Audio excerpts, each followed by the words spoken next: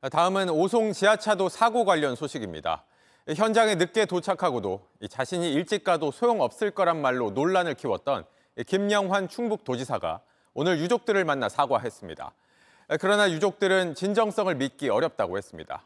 사고와 관련해 수사를 받는 책임자들은 36명으로 늘었습니다. 정영재 기자입니다. 죄송합니다. 유족들을 만난 김영환 지사는 고개부터 숙였습니다. 그동안 말 실수를 의식했는지 사과 말고는 말을 줄였습니다. 그래도 유가족들은 분노했습니다.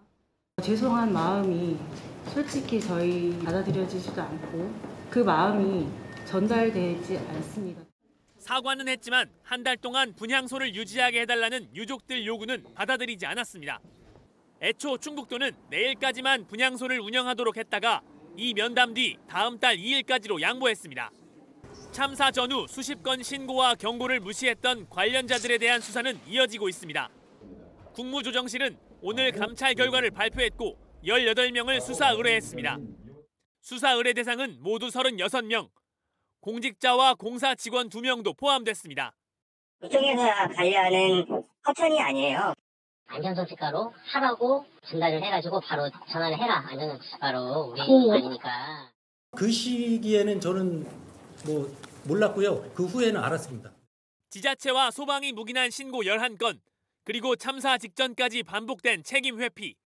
서로 미루다 골든타임을 놓치게 한 5개 기관 공무원 63명은 징계하기로 했습니다.